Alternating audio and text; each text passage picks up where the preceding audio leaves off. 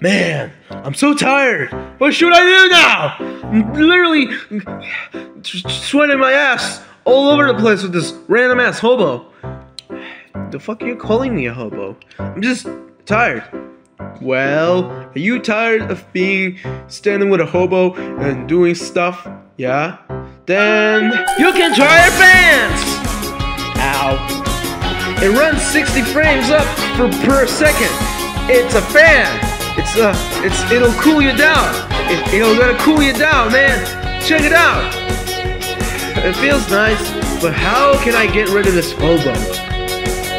Uh, what the hell? What do you want? I'm trying to get rid of you, man.